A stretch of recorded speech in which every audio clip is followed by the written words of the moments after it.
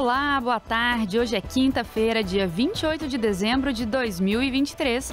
Está no ar a Rádio Nossa Cidade com um boletim de notícias sobre o que de fato acontece em Uberlândia. Eu sou Ismênia Keller e vamos aos destaques. Rádio Nossa Cidade. PPP da Iluminação Pública inicia remodelação de luminárias no bairro Morada Nova. Demais se destaca nacionalmente com ações que promovem a sustentabilidade.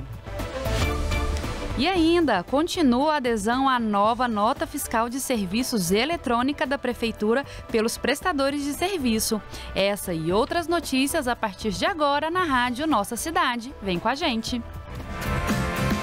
Uberlândia no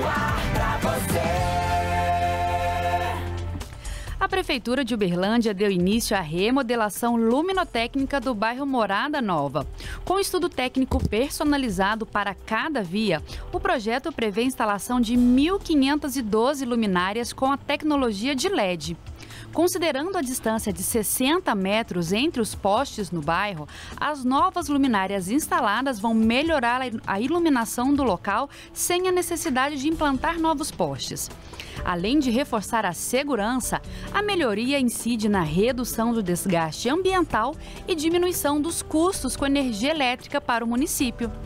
Desde o início dos serviços, em maio de 2020 até o fim do segundo trimestre deste ano, houve a redução da emissão de mais de 7,2 mil toneladas de gás carbônico. Isso equivale ao plantio de aproximadamente 50 mil árvores. Outro impacto importante para o meio ambiente é a redução da geração de resíduos sólidos devido à maior vida útil das luminárias de LED. Houve ainda a redução de consumo de energia elétrica. O montante economizado equivale a manter 681 escolas públicas com até 800 alunos durante um ano. A população pode encaminhar demandas de iluminação pública pelo call center da concessionária parceira. O número é exclusivo para atendimentos de Uberlândia e seus distritos. Anote aí, é 0800 006 1739. As obras e ações desenvolvidas pelo DEMAI neste ano priorizaram promoção da sustentabilidade, garantia de segurança hídrica e qualidade de vida aos moradores de Uberlândia. Com isso, a cidade segue como referência nacional em saneamento, como terceiro melhor do país, de acordo com o ranking 2023 divulgado pelo Instituto Trata Brasil. O município, que obteve nota máxima em 11 dos 12 indicadores avaliados, é o melhor do estado desde 2009, quando o estudo foi lançado.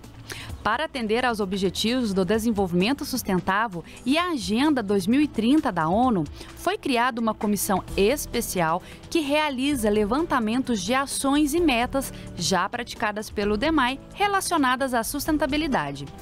Paralelo a este trabalho, várias novas ações foram colocadas em práticas, como a migração da energia elétrica utilizada na autarquia para fonte 100% renovável, o início do estudo técnico para produção de fertilizante e energia a partir do lodo de esgoto na estação do Uberabia, a ampliação da coleta seletiva que passou a atender 100% da cidade e a aquisição dos primeiros veículos sustentáveis para substituir a frota leve.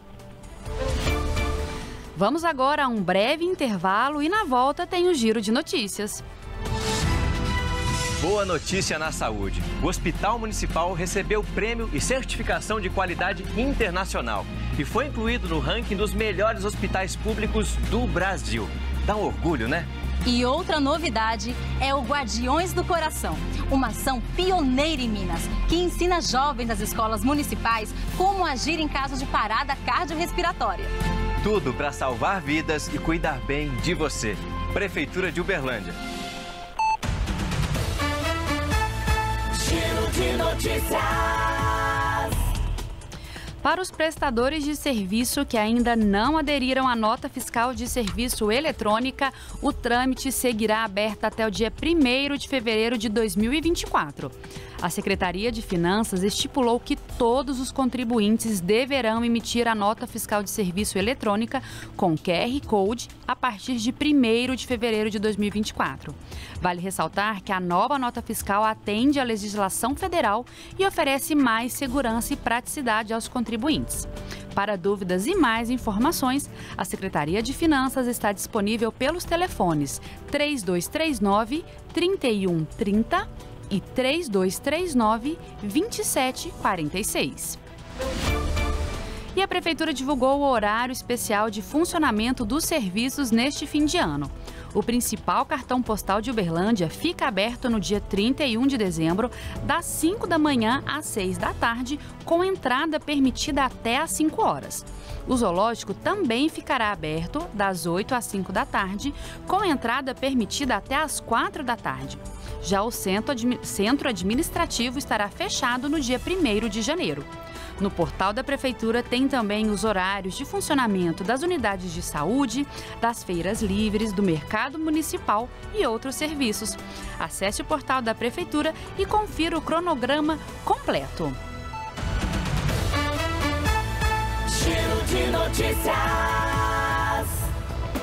A edição de hoje da Rádio Nossa Cidade fica por aqui. Obrigada pela sua audiência.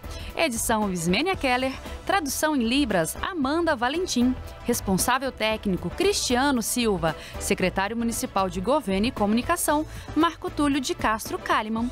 Prefeitura de Uberlândia, fazer mais, fazer bem. Até a próxima. Fica por aqui mais uma edição do programa da Rádio Nossa Cidade. Continue conosco no portal da Prefeitura e nas redes sociais.